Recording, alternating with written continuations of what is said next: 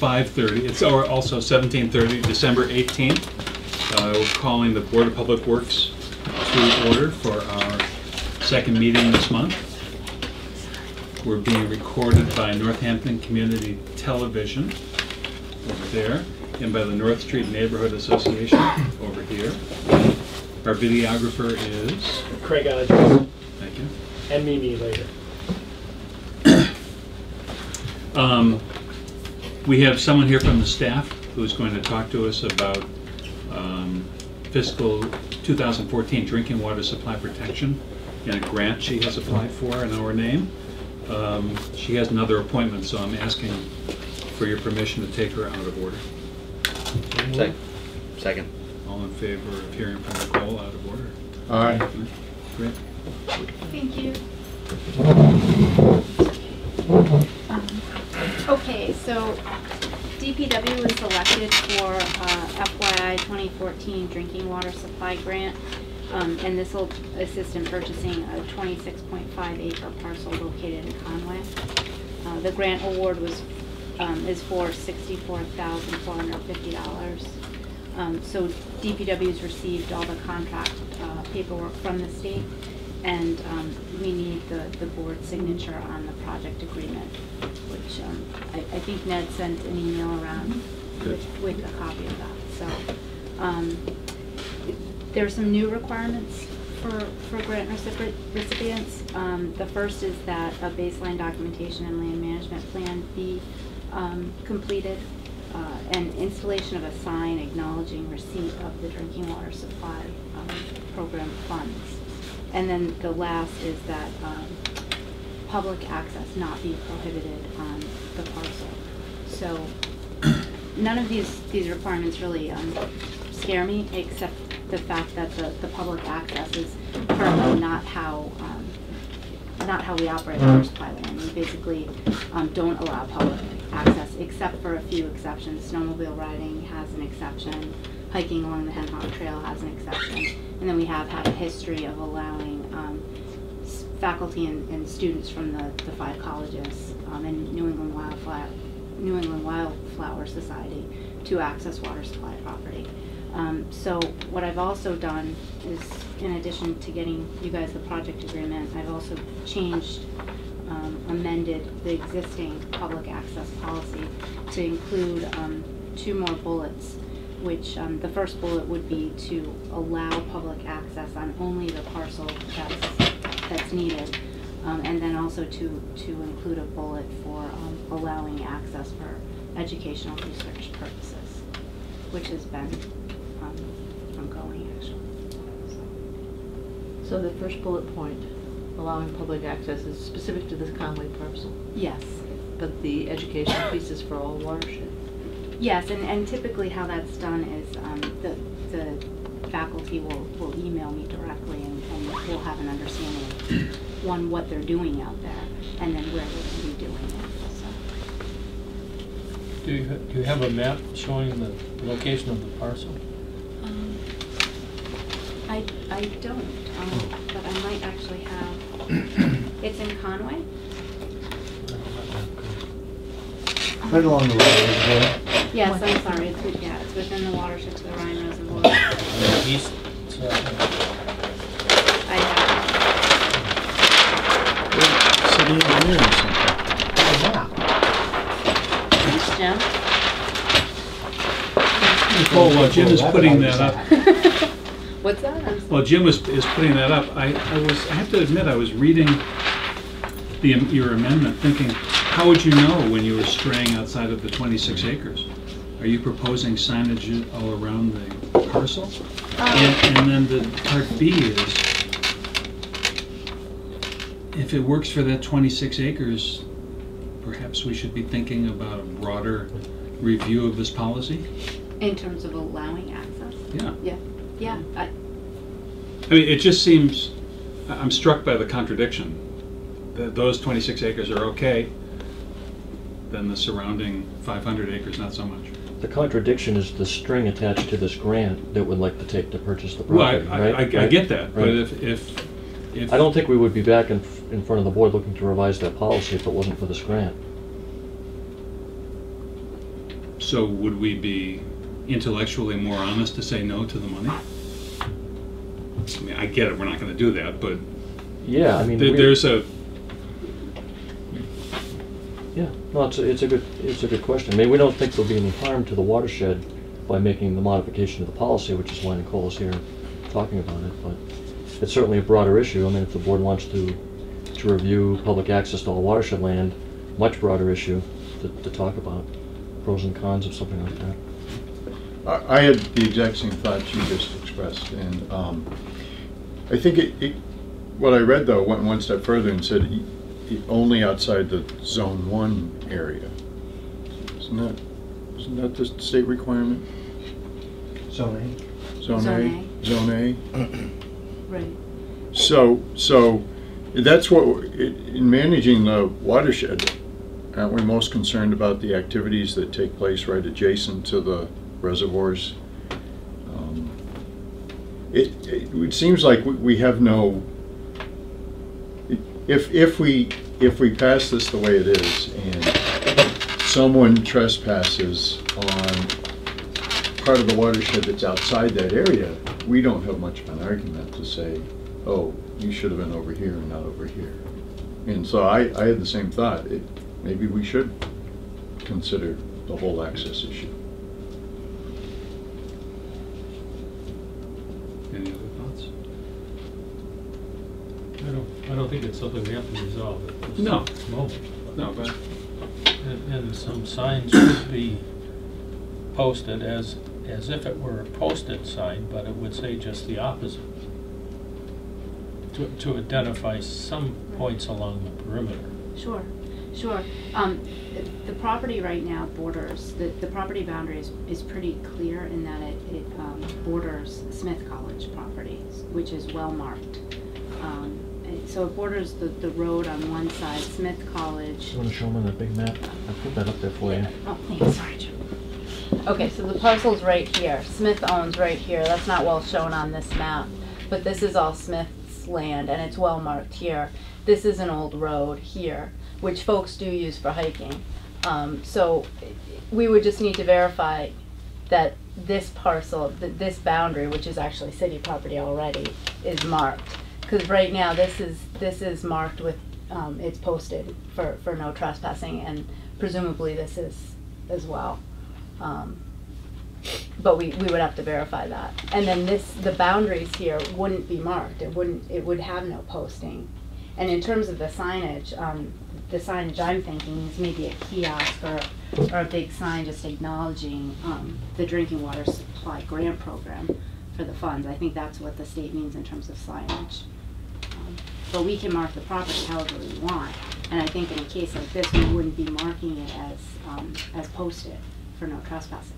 We could just mark it as, um, City of Northampton water supply property.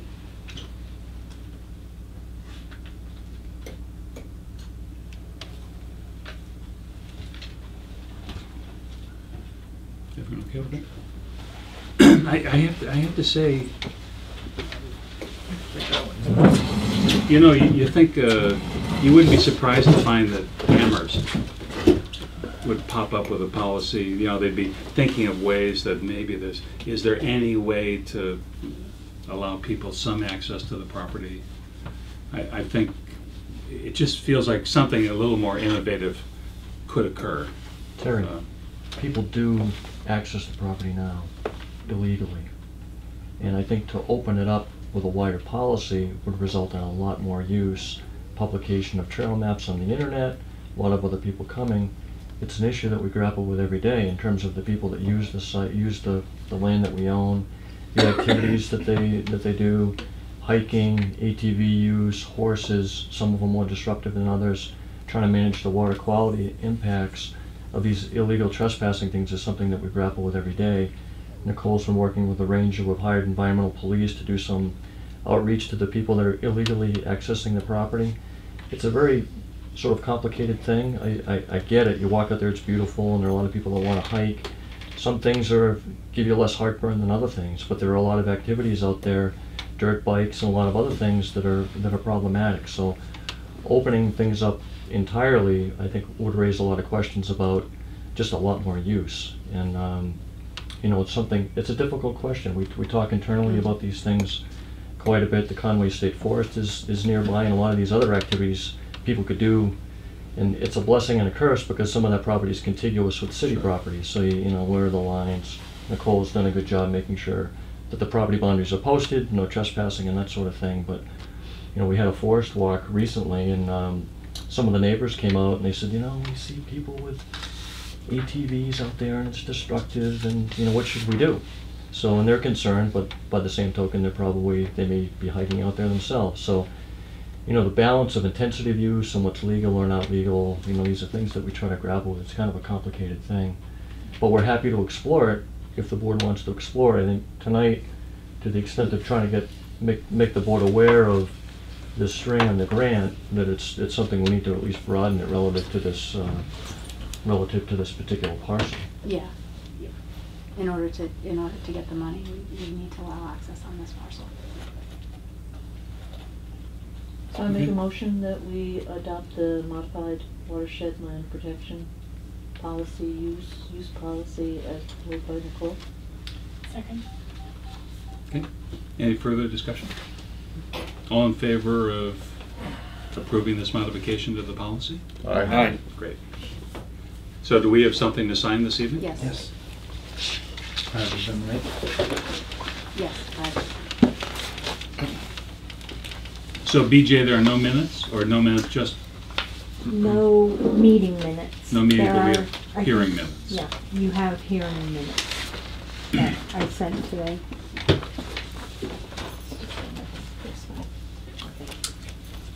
So you have to table the first. Okay, I make a motion that we table the minutes of December the fourth, since we haven't seen them. Second. the meeting. So we're tabling the minutes for the meeting of December 4th. All in favor of that? Aye. Next, the December 4th hearing, which we do have minutes for. Move approval. Second. Any amendments or corrections? I thought they were perfect. Good start. Thank you, I Mike. even amended them. I told him, I told him. Thanks a lot. So, all in favor of approving those perfect minutes as, as presented to us? Aye. Obviously, I'm abstaining because I wasn't there.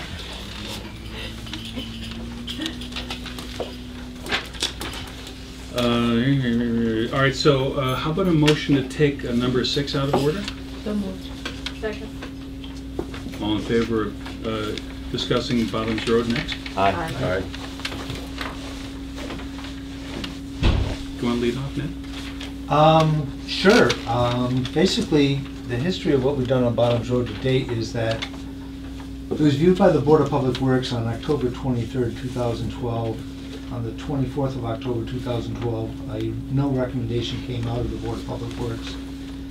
Um, As everyone knows, the- all the no votes were re-looked at again on um, September 11th, 2013, and there was no action taken on this particular one. Sometime in November, uh, the city received a petition uh, from residents for Bottoms Road, which had been absent before. And um, we had a public hearing on December 4th out at the road. We just approved the meeting minutes for that. And now it's come to you for a um, discussion and vote.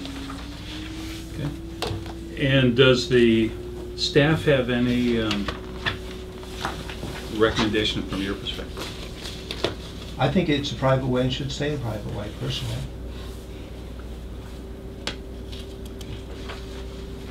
Mike, you've, you've been our conscience on this. Um, I think we need to be consistent with our previous actions. And, um, and I always thought that this was a difficult one because it certainly looks like a long driveway to me. But we have approved um, other narrow, uh, unpaved roads as public ways, and I think we should continue to be consistent. So I'd recommend that we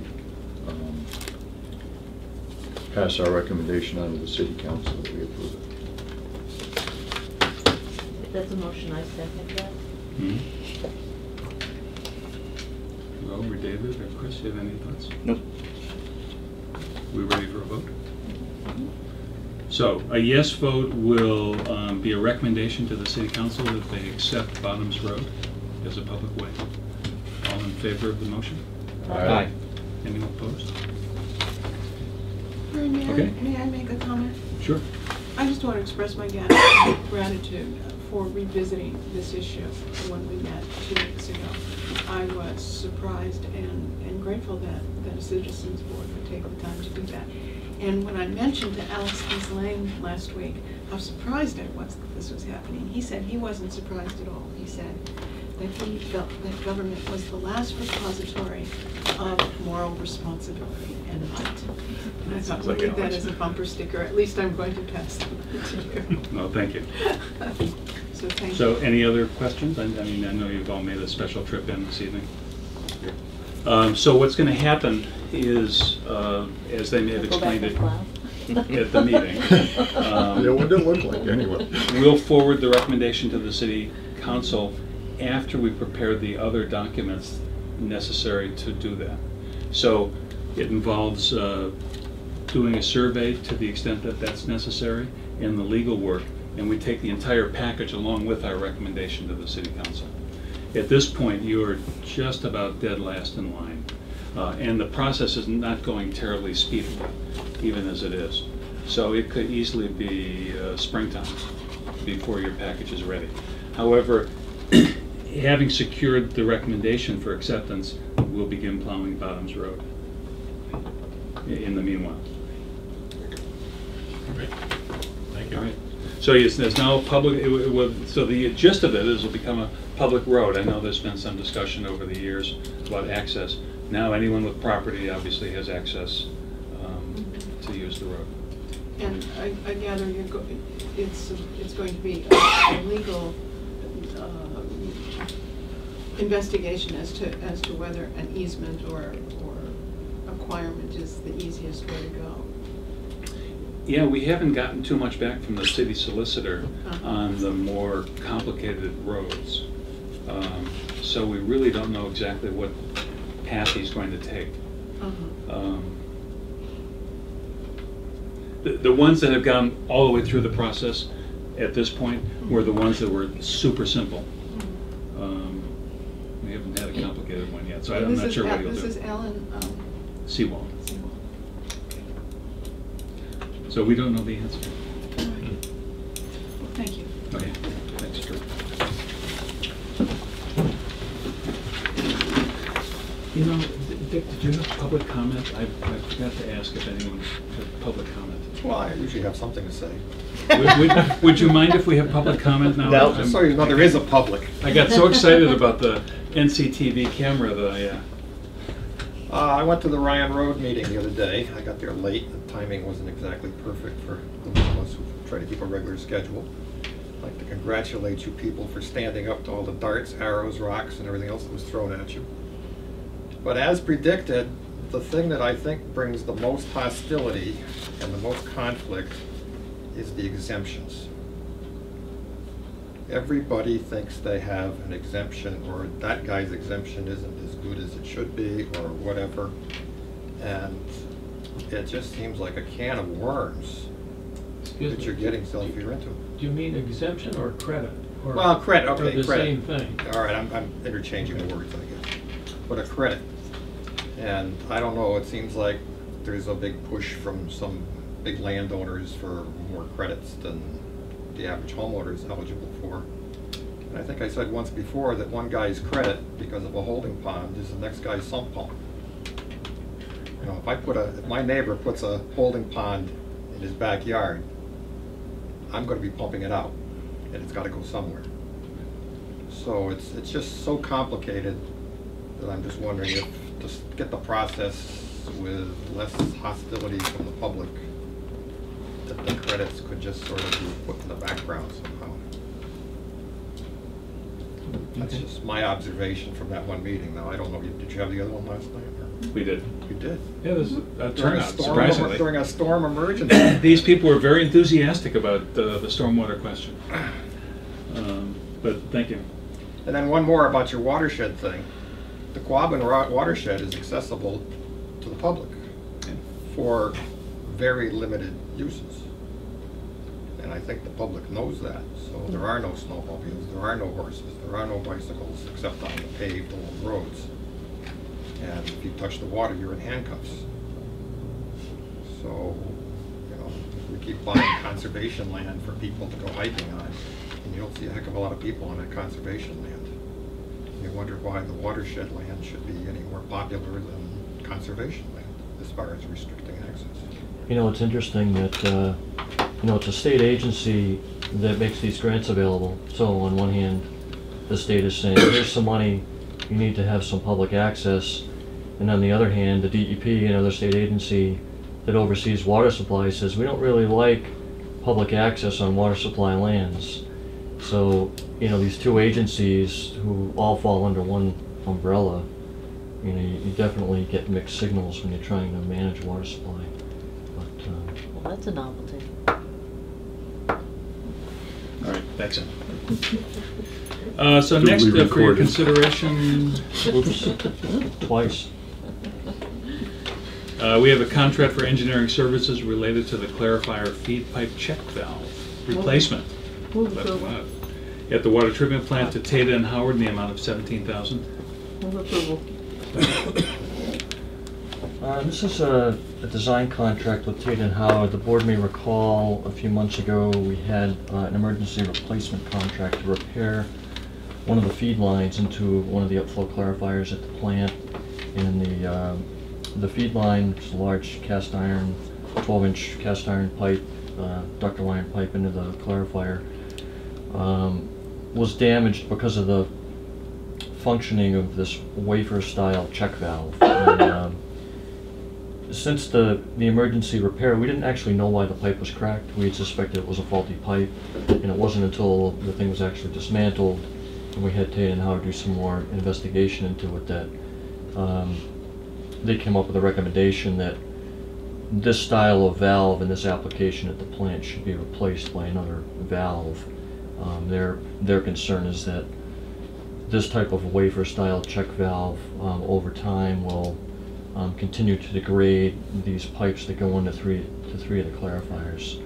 Um, so the contract here is for them to come up with a, uh, a design of another style check valve to see if it'll fit in the location that we have. it. We've got some tight quarters down there in the pipe gallery. Um, they would provide us with the specification and the the details for the, the new clarifier, and then city staff, engineering staff would do the bidding um, to do the replacement. Um, So that's this contract, it's uh, seventeen thousand um, five hundred, uh, four eighty-four to do that. So Jim, are you saying that they would give you biddable documents, but then the staff would handle the bid process? Or they would give you enough information for the staff to create the bid documents? Staff would create the bid documents. They would give us the technical spec, specification and the detail on the valve, and then we would put it into a bid document with a contract and everything, and then bid it. Does- So the price strikes me as high. And, and I wonder if it includes some of the investigation work that's already taken place, or It's funny, how funny is it? interesting funny. Um, I had the same question when they submitted the proposal. I said, it seems like it's high. Um, their estimated construction cost for this, um, they have indicated is about hundred and ten thousand. And since we're doing the bidding and some of the other work, it just seems like high as a percentage of the cost. Um, their reply was, um, well, I guess they're concerned. There's some unknowns about the geometry of fitting a different style valve in there. Um, there's a very tight space between um, the upflow clarifier and some of the uh, other lines within the within the uh, the pipe gallery. So they said uh, the change in laying length may require reconfiguration of the feed pipe from the clarifier to the flow control valve, and the estimate reflects the labor for this. Uh, as you know, location of these the location of these valves complicates construction as well. Uh, we've also included electrical and plumbing time for disconnect and reconnect of existing equipment. Based on the uncertainty of piping modifications required, I would re- recommend keeping the engineering budget as previously submitted. So it'll be a not to exceed sort of time and expense contract. We'll watch what they're doing. if they can drop this valve out and put another one in, in this space, and nothing needs to be done, it would be a very easy, it'll be a very easy project. Um, any of the configuration work or any of the complexities that may come up. The wafer valve actually is a very narrow valve, and, um, getting something else in there, they're concerned, um, about exactly how much reconfiguring is necessary for that. So for that reason, I, uh, I let it drop, my, my request to make it, uh, you know, a lesser of a contract. Is a wafer valve a butterfly valve? It's, um, it's not, it's not like a butterfly valve. Um, well, I guess in a way it is. In a way it is, yeah. MJ? Um, Was this a, a result of an original design flaw? It's the original design. Um, That is flawed. I mean, I'm not, I didn't do enough work to say that it's flawed. Um, we, we did a lot, of- we did have Tata and Howard do some work on the functioning of these wafer valves and is this a common issue? Um, to which they reported, no. Um, so it's not clear to me exactly what the problem is, other than we had concerns about how these wafer valves function and the hinge that they're, that they're on and the ability of that to last any amount of time. Um, so we don't want to rely on a valve, one valve that's already shown the ability to wear through a very strong ductile iron pipe. Um, so we want to replace them. Um, is it a flaw? Um, could be a manufacturing issue with that type of valve. Um, I wouldn't say, talking out loud, I don't think it's a design flaw. There's no reason for the designer to expect that this piece of equipment which fits in this application shouldn't function properly. Um, But, uh, you know, we don't have any recourse with the manufacturer. Our only recourse is to say, that's a bad valve, you know, it's beyond the warranty period and we don't want to rely on it. See, I thought you were going in a different direction, which is when the original architecture engineering was done, didn't they accommodate the possibility that they were going to have to change out these valves? Uh, That's where I thought you were going with this. Oh, okay. I mean, you don't you don't you don't build a a- an automobile engine so that you got to pull the motor in order to change the oil. Yeah, I mean, it's a large, complicated facility. This is not, as the board knows, this is not the first time we've been in front talking about trying to tweak something that was built five years ago, six years ago. Um, we replaced another, of the main uh, pressure reducing valve into the plant. We, we replaced an emergency overnight installation a couple years ago. And that was something similar, where it was a valve that was used that um, was no longer functioning as, as intended, and needed to be replaced by something else. And there was also some configuration of the main raw water feed line into the pipe gallery that needed to be changed that night. Um, So, you know, we identify these things and we try to make the improvement as we can, and wish we didn't, but. I think, I guess compared to twenty-six million dollars, it's a little, little adjustments. It's a bean. It's like a piece of lint on your suit, you know, it's kind of. Um, So it was scoring, this, this valve is scoring the iron pipe? Yeah, I should have brought photos. I was a little distracted today, but we have, we have photos. It was more than scoring. It actually wore away the inside of the pipe. So the cement lining, the, the, uh, the wall, um, the ductile iron wall was actually worn through to the point where the pipe was leaking. There was water coming through the pipe wall. Which, I mean, these are, these are very, I mean, this is not, this is, these are big pipes, you know, so. So in the end, you're satisfied with the seventeen thousand? And it may well be under that if they can find an easy replacement. Right. And we'll watch them to make sure that, you know, if it's easy, we don't get big bills. So, And until then, it's, it, it will just, or what's the inter, in- intermittent repair?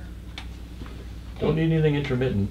Um, we have one of the valves we know is not functioning right, so it's Mm. probably banging away down there a little bit, doing some damage. Um, we think if we replace it within the next few months, shouldn't be any any real long-term issue. Okay. Two of the other ones, as far as we can tell, based on the sound, can't see inside the pipe, right? But based on you know not hearing any racket with these other two, we think they're probably functioning okay at the moment. So the plan might be to do the first two and monitor the other two? There's three of them. The plan, I think, would be to replace all three of them, Oh, because we just yeah. don't have any faith in them. And when they do, when you do get a failure, all of a sudden, it's an emergency Sure. because we can't produce enough water for the city. Ready Okay. to vote? All right, so, uh, all in favor of approving this contract to have Tata and Howard uh, come up with a potential valve replacement? Aye.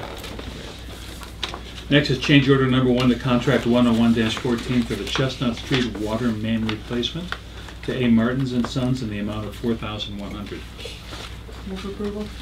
Second.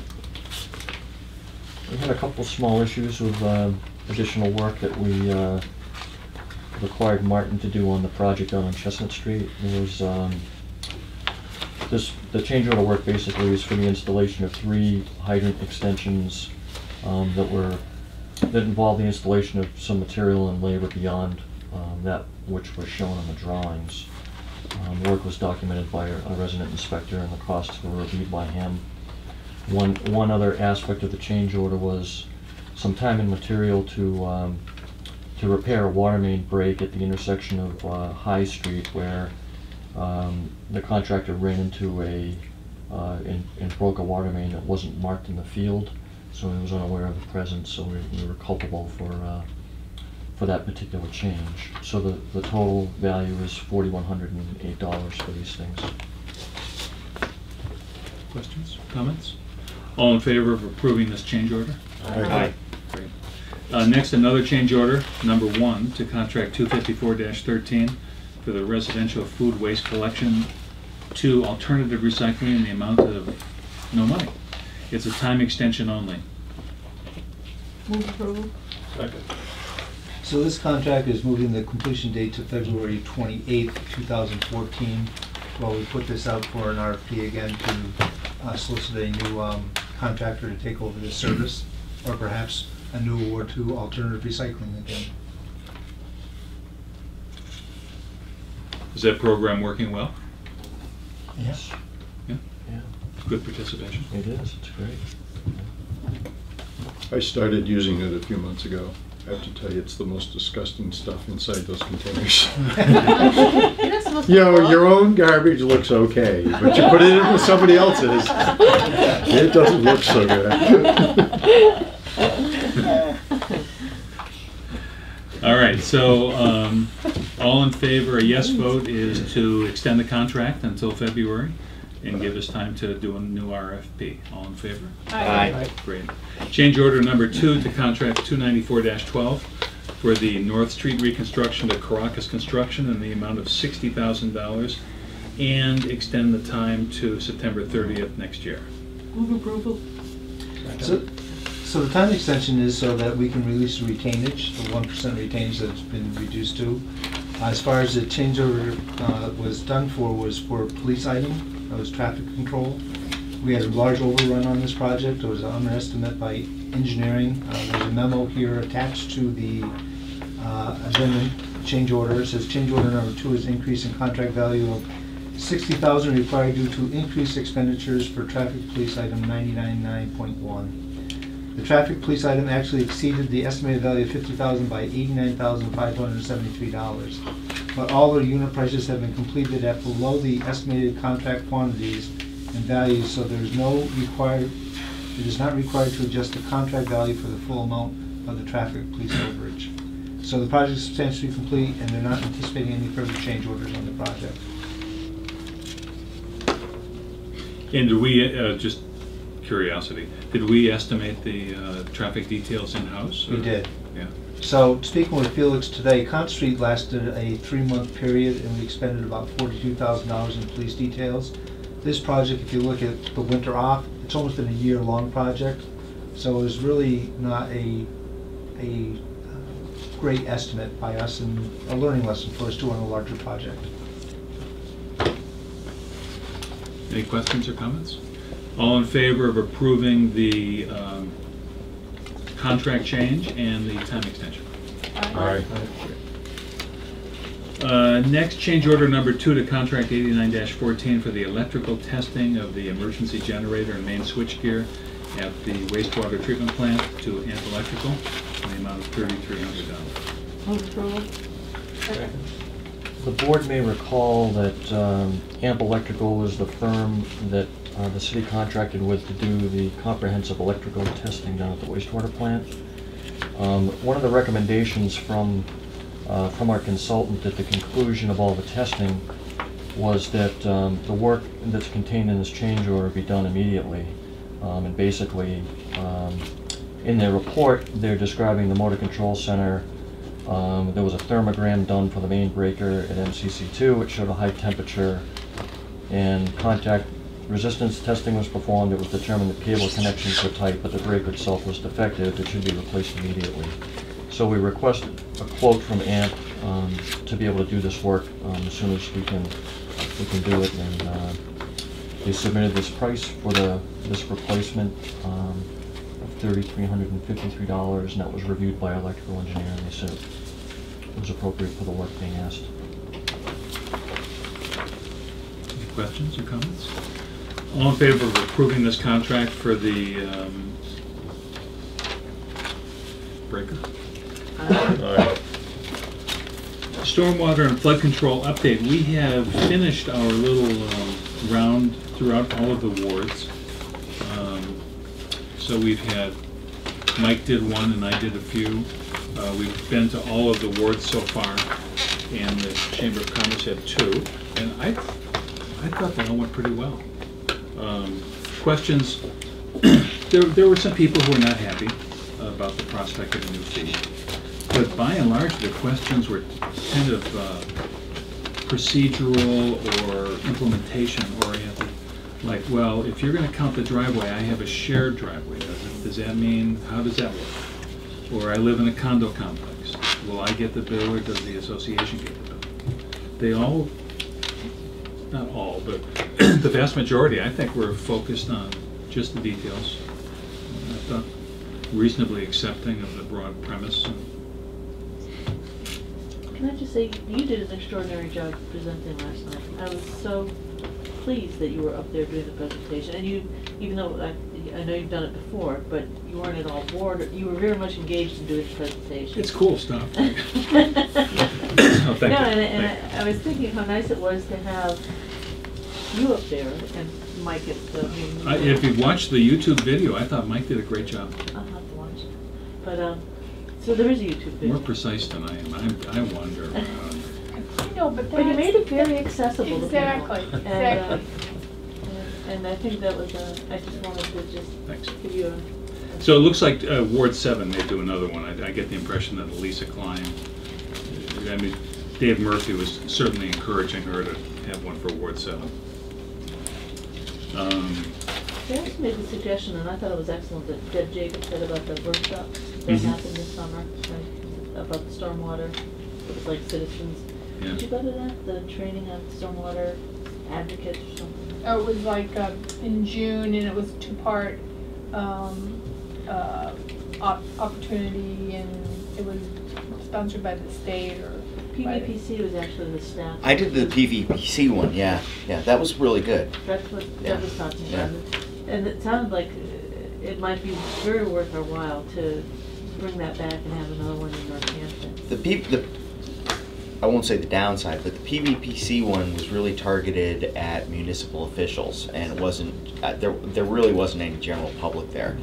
Um, Was Deb at that?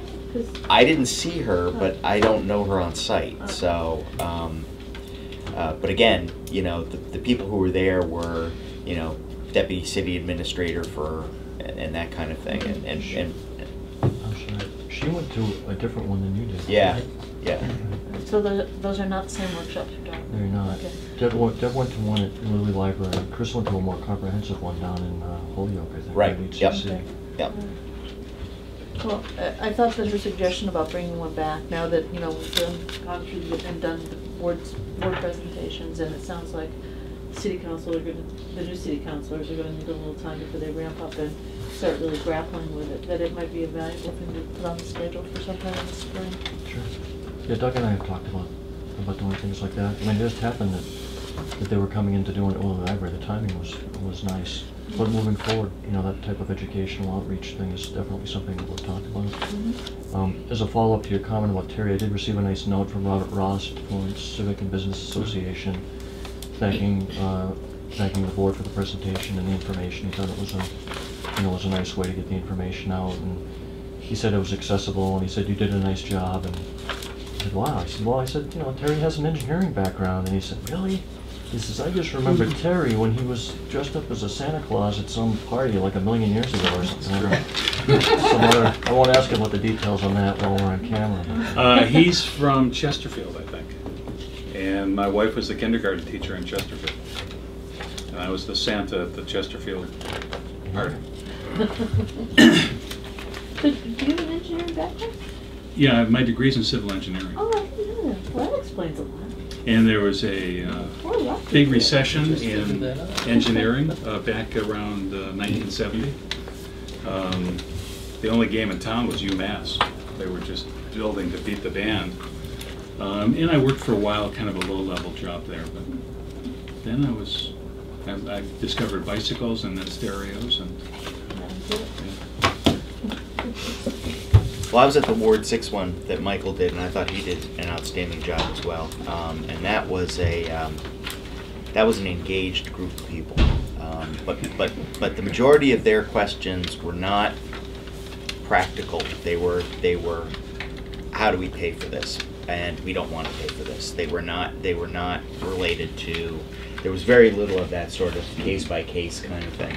And fortunately, um, Bill Dwight was there and took it upon himself to, um, to handle the, the, the portions of the conversation that were not technical. Jim also did an outstanding job, um, fielding questions that I think in some cases were a little bit outside of his, of his comfort zone, but I thought he did a really good job.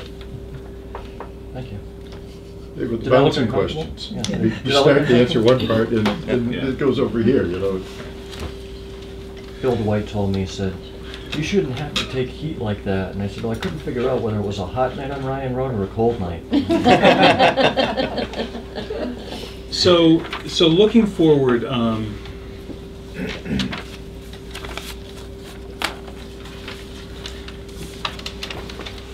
kind, it's kind of up in the air whether this process will occur quickly enough to be incorporated into the budget for next year. And my concern is, and and I'm actually gonna, the mayor has a fireside chat once a month, something, I'm not quite sure what the format is, but I'll be with the mayor Friday morning for NCTV. And I, I hope I can talk to him a little bit about this, but, um, if, as Dave Murphy was talking about last night, this slips into late March, it might not happen, if it does happen, but it might not happen until uh, it's too late to weave it into the budgeting for next year. I, I suspect if it came, became, the money became available in March, we could, we'd try real hard. But uh, it'd be nice to get this resolved sooner.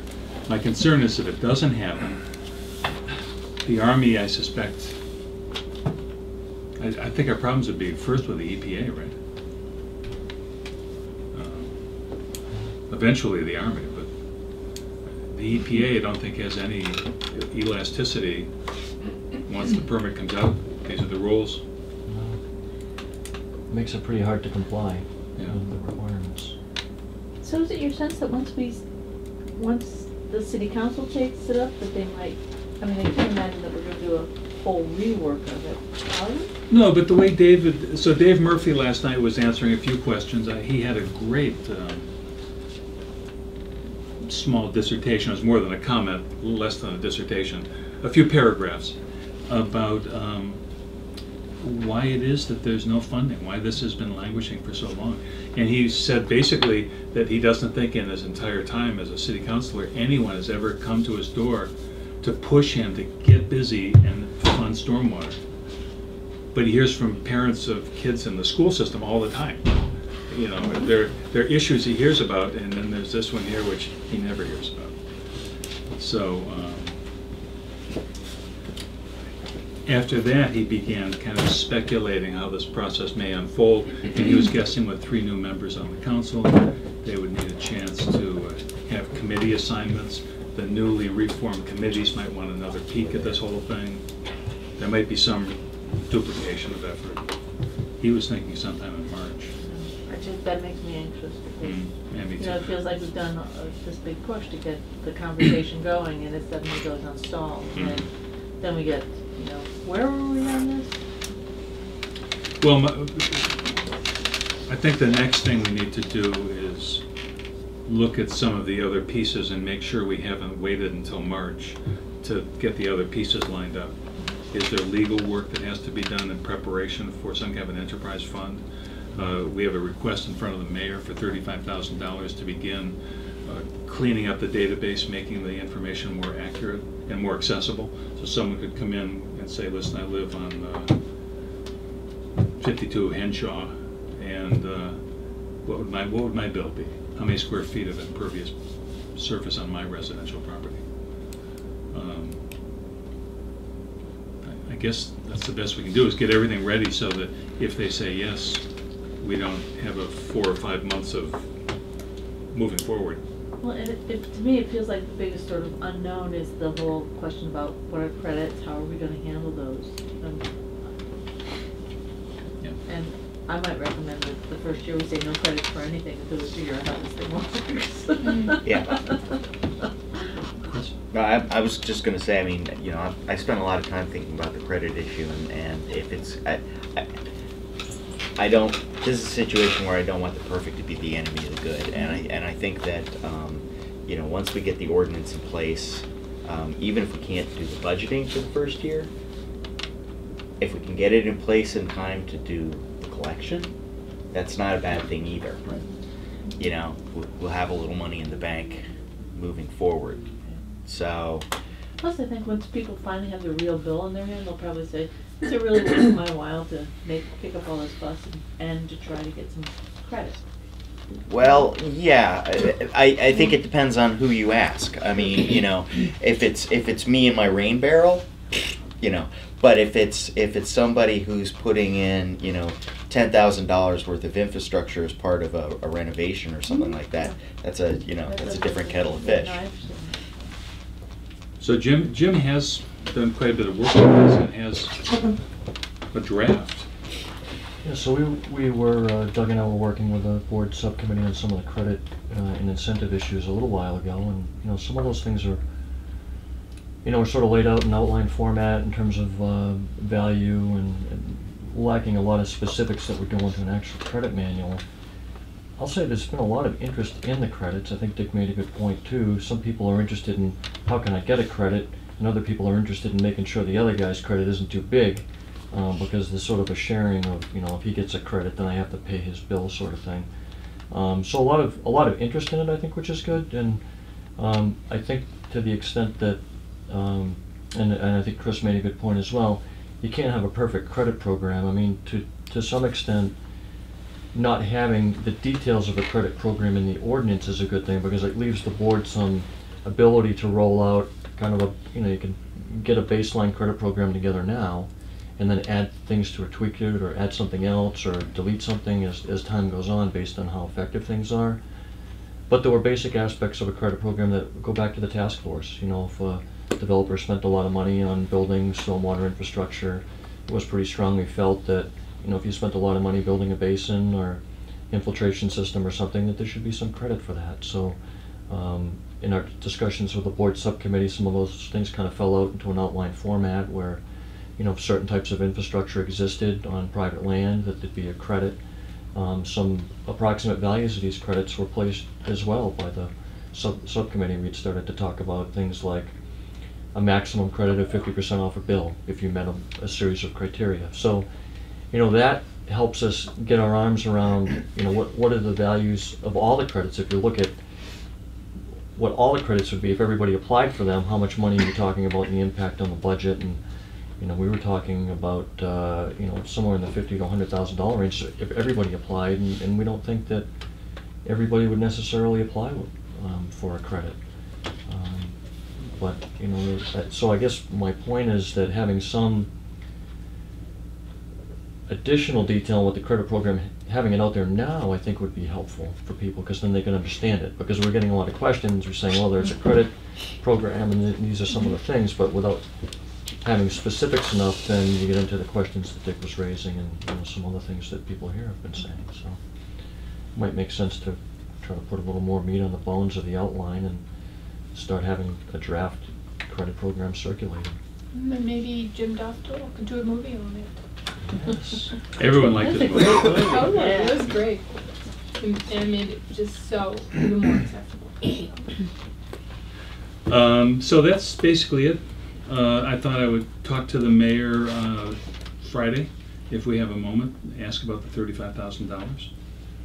Um, I agree with Jim that I think we should get the credit thing up there, at least as a proposal. And that might be a way to keep sort of the public engaged Mhm. as we bridge to this new city council. Um, I've met with uh, Ryan, O'Donnell? exactly, Ward Three, and with Alisa Klein, and I haven't met with the third person, Gina? who's my ward. I was gonna say. Yeah. That's the award. Haven't, haven't met that person yet. Um, but uh, both Ryan and Alisa seemed interested. I, Ryan's on board, in Ward Three. He's excited about this. Um, and, and I thought Alisa's open, certainly open to it too. But she, you know, she's looking for help explaining to her constituents why they should care, why they should be involved. You know, be able to explain why the, the bills are not too onerous for the people in Ward Seven. That's all I got. Uh, which brings up private ways. Private ways.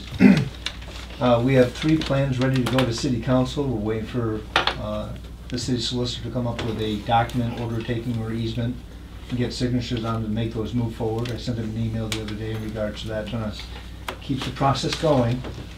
Um, Just so the board knows, I've been approached by Lily Gabe, Roger Saloon, and yesterday I met with Gordon Murphy and Floyd Andrus, who own, all own properties down on Center Court. I've talked to Terry about this, and I want to make sure the board is well aware that I'm having these conversations with these property owners on Center Court. They're trying to figure out how to make Center Court a public way.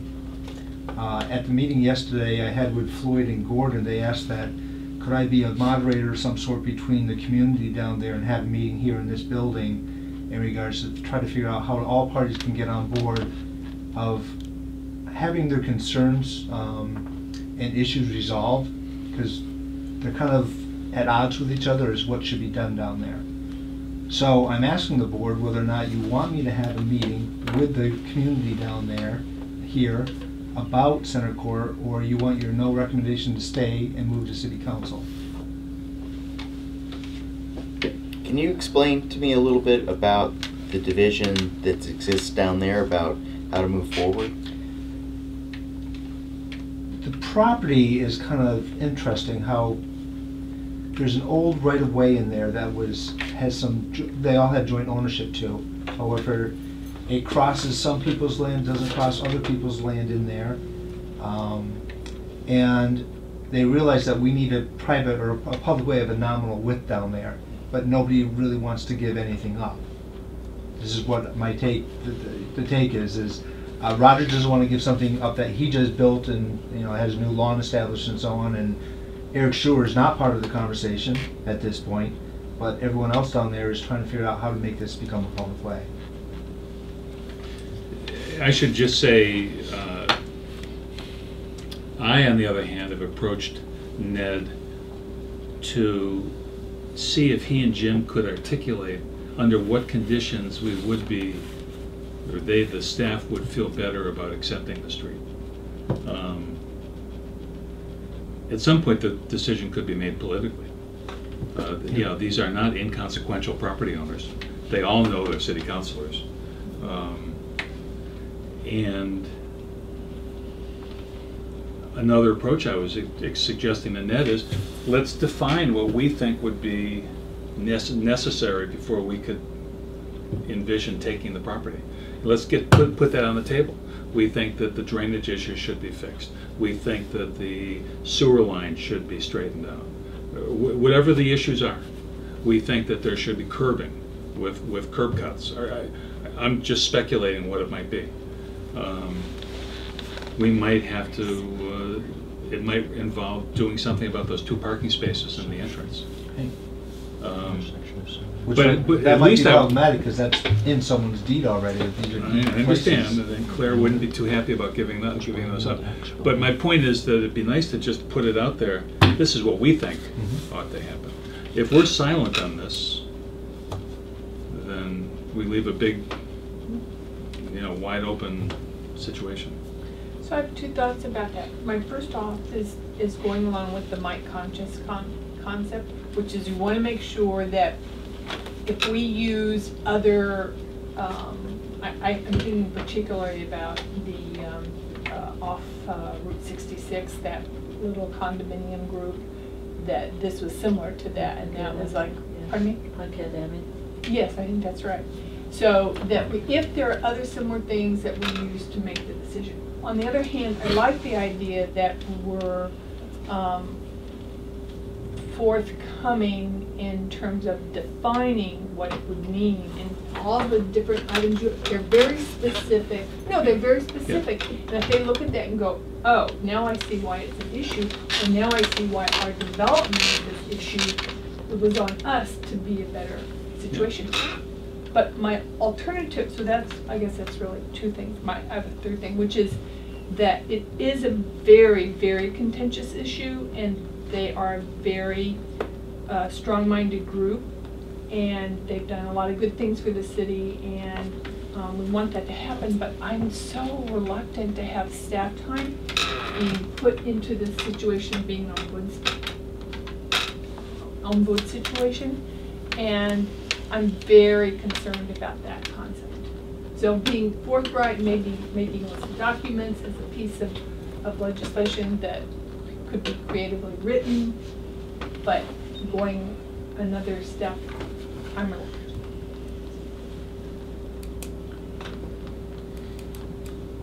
I'm, I'd like to echo um, what Rose concerned, but I, I, I, could be a big sinkhole of staff time and not good results. And then we also have a, an interest in the outcome in some way. Um, So I don't think we're there as a neutral party, and I think that that might make it difficult for us. You know, I think there are people who are trained to be mediators, who facilitate these type of conversations. I think part of the challenge here, from what I understand, is that there are some property owners who are not part of the conversation, who need to be part of the Mhm. conversation, and I think that that's probably the biggest challenge. I think, you know, when we had the drainage issue there a couple of years ago, we talked about what are the options for a betterment that would compel everybody to put something in the till to take care of the drainage Mhm. issue, you know. I- But I, I do worry about staff time being committed to this and when clearly not all the Right. parties who need to be at the table are at the table and we're putting our staff there and having to play a role. So just to, uh, I hear what you're saying. I wasn't implying that the staff should design these.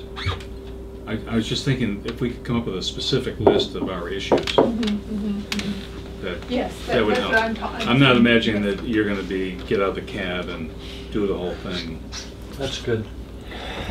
Uh, and, I didn't put Cat? it that way. What cat? This cat. uh, so, and also, so you're, but specifically, you're reluctant to see Ned be the facilitator.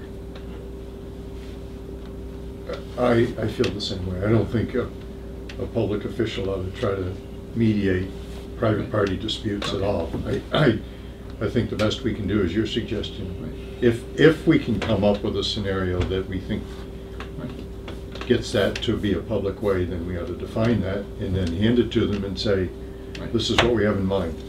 Yeah, I mean, we've left a that's a vacuum here. Yep. So, and partly because I don't, we might struggle coming up with that scenario. Mhm.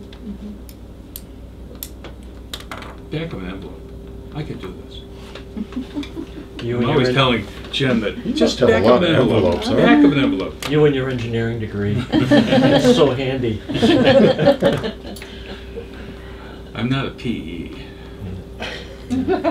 I learned today it doesn't mean a whole lot in the city, but that's a story for another, story for another day. Um, All right, so it it doesn't sound like, Ned, like there's much support for That's fine, you becoming the ombudsman of uh, Center Court. okay? If anybody, it should be their city councilor. Like it.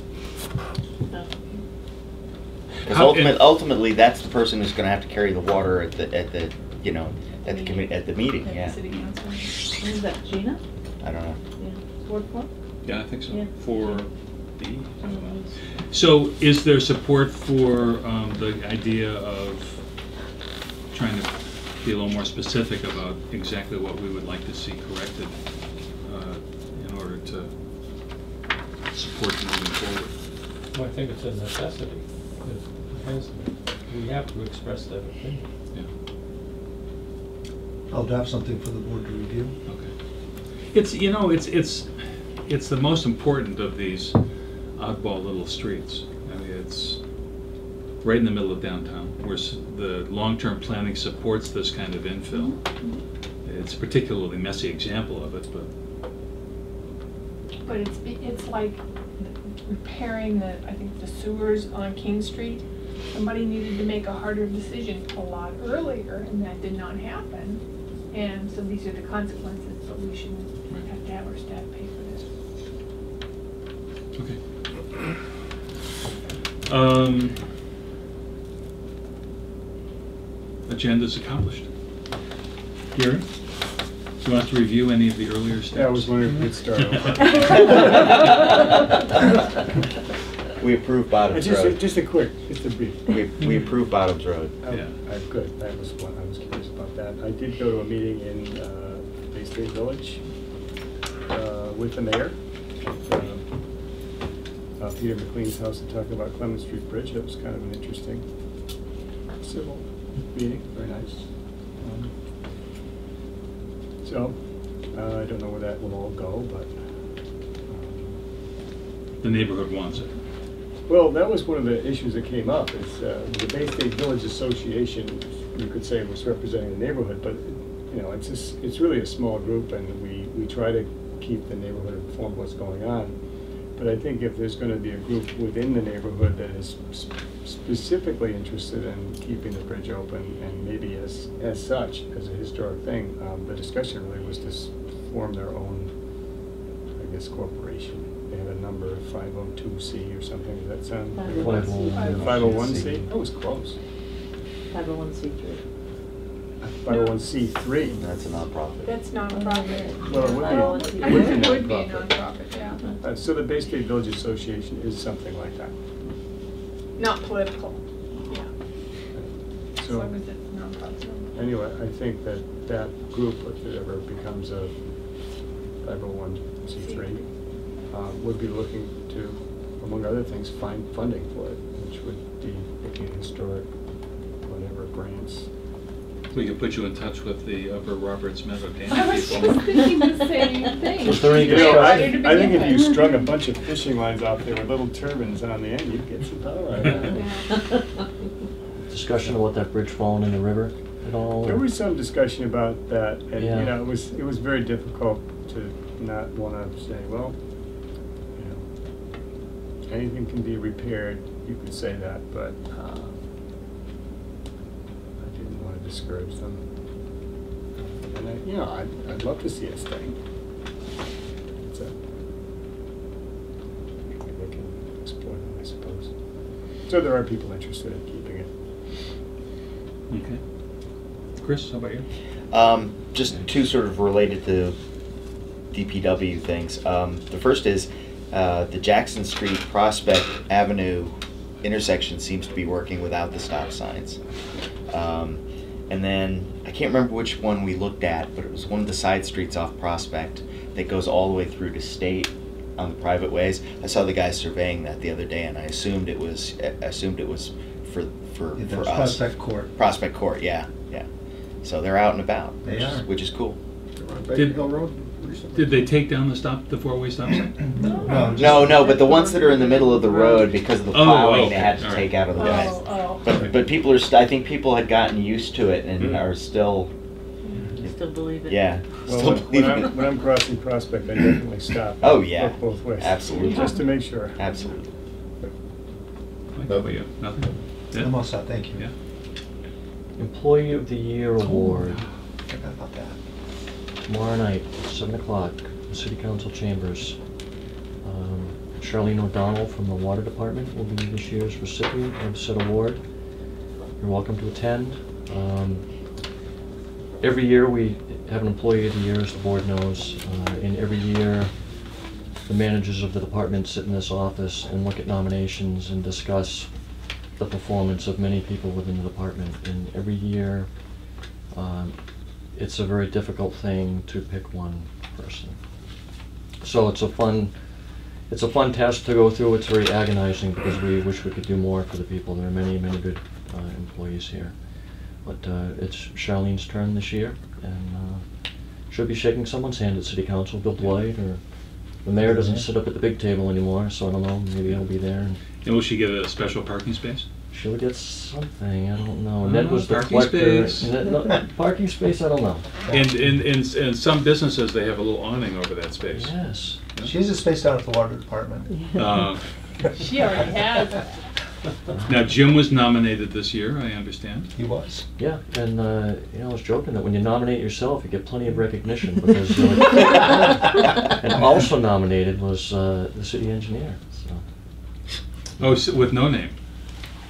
No, with a name. Okay. With a name. Uh, I'm not really eligible to win, but, uh, but anyway.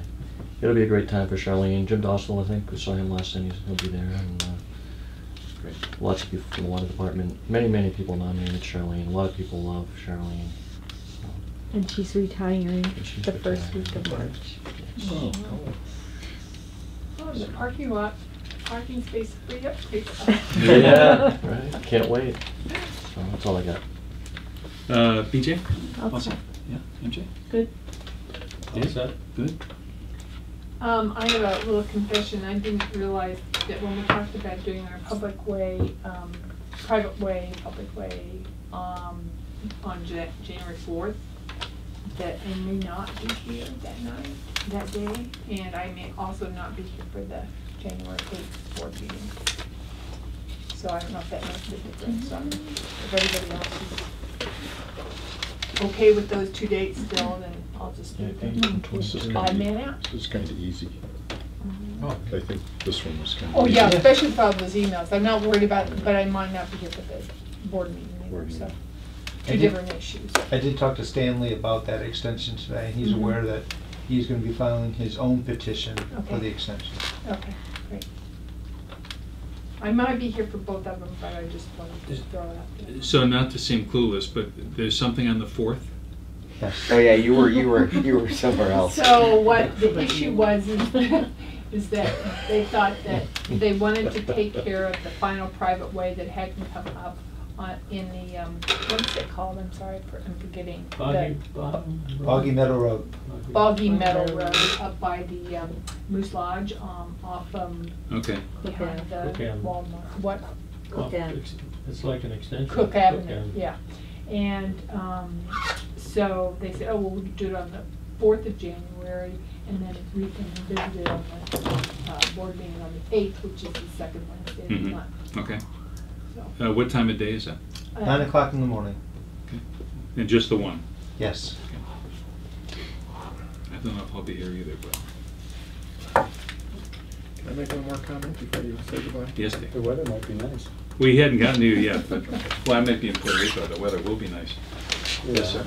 Now that you're on television, you may have more citizens taking an interest in your activities, other than the couple of us that show up periodically. And you go through a lot of money every meeting. I mean, this time you didn't break a hundred thousand, but a lot of times you do. And you have a lot of bank accounts. And I don't think the general public knows, or even maybe you don't know, which pocket the money's coming out that you're spending. Like there were a lot today from the, the Water Enterprise Fund. Mhm. But to somebody casually watching, they might think that's coming out of their tax bill, their Mhm. real estate tax bill.